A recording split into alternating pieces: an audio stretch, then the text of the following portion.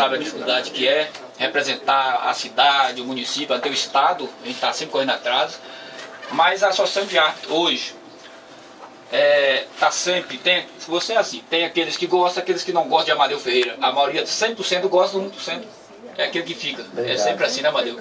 Mas a Associação de Arte, sabe, sempre gostou do Amadeu Ferreira, está sempre junto. E a gente, eu e o Rossi, ontem, correndo, pensando num, uma singela homenagem a fazer a Amadeu Ferreira. Vamos fazer a placa que a Amadeu merece, a Amadeu está sempre divulgando o esporte. Eu, como professor de Karatê, você sabe que a gente sempre está junto, você está sempre divulgando nossas matérias. É, e a falar ao pessoal do, do, esporte